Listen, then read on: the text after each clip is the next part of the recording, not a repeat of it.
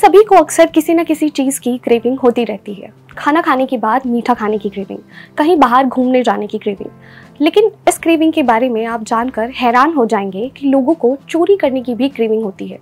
जी हाँ लेकिन ये बात सच है कि चोरी करने की ये आदत एक प्रकार का डिसऑर्डर है, जो किसी भी व्यक्ति में हो सकता है। और इसके लक्षण टीनेजर्स में ज़्यादा पाए जाते हैं।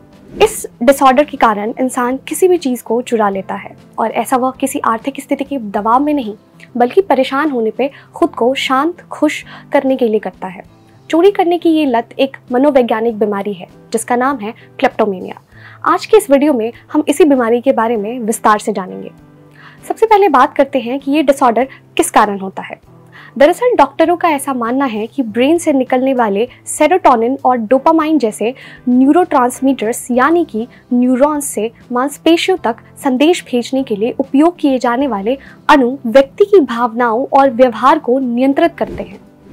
इन दोनों की कमी के कारण व्यक्ति को क्लेप्टोमेनिया की समस्या हो सकती है। किसी व्यक्ति में पहले से borderline personality obsessive compulsive spectrums disorder और बाइपोलर डिसऑर्डर या घबराहट के लक्षण मौजूद हों तो उनमें क्लेप्टोमीनिया की आशंका बढ़ जाती है। इस डिसऑर्डर के लक्षणों की बात करी जाए तो इससे ग्रसित लोगों को किसी भी छोटी और मामूली चीज़ जो वे आसानी से ले सकते हैं, इन चीज़ों को वे उत्तेजना या तनाव या संतुष्टि के कारण चुरा लेते हैं। कभी कभी तो वो ऐसी चीज़ें चुराते हैं जो उनके किसी काम भी नहीं आता। जिसे चुराने के बाद वो इसे फेंक देते हैं। इतना ही नहीं चीज़ें चुराने के बाद उन्हें शर्मिंदगी भी होती है। आज आपके मन में एक सवाल तो ज़रूर आ रहा होगा कि इस डिसऑर्डर से जूझ रहे लोग आम चोरों से अलग कैसे हैं? ये भी तो चोरी ही करते हैं। तो आपको बता दें कि आम चोरों और क्लेप्टोमैनिक लोगों में एक बड़ा अंतर होता है। दरअसल चोर अपनी ज़रूरत का सामान ही चुराता है, जैसे कि पैसे, ज्वेलरी, गाड़ी एक्सेट्रा लेकिन एक क्लेप्टोमैनिक व्यक्ति बहुत बार ऐसा सामान चुराता है जिसकी ज़रूरत उसे होती ही नहीं है। साइकोलॉजिस्ट का कहना है कि ऐसे लोगों के मन में चोरी करते समय पकड़े जाने का भी डर होता है, लेकिन कुछ समय बाद उनके अंदर चोरी करने की इच्छा दोबारा से जग उठती है। ये बीमारी किसी भी उम्र में हो सकती है। यह बचपन से लेकर जवानी तक और कम मात्रा में उम्र दराज व्यक्तियों में भी देखने को मिलती है।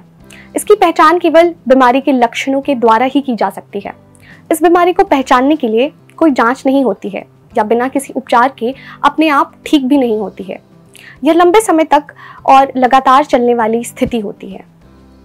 इसके उपचार की बात करें तो इसके लक्षणों को पहचान कर सही समय पर उपचार किया जाए तो इससे इस बीमारी को जल्दी खत्म किया जा सकता है। क्लिप्टोमेनिया एक जटिल मनोरोग है, क्योंकि इसमें depression border line personality OCD जैसी कई अन्य समस्याओं की भी लक्षण मौजूद होते हैं। इसलिए मरीज़ को काउंसलिंग और साइकोथेरेपिस्ट के साथ मरीज़ को दवाई की भी ज़रूरत होती है और दवाई भी दी जाती है। इस डिसऑर्डर को दूर होने में करीब एक साल से अधिक लग सकता है। आज की वीडियो में बस इतना ही। हम फिर मिलेंगे एक नए कार्यक्रम के साथ। तब तक के लिए मुझे दीजिए इजाज़त। नमस्कार।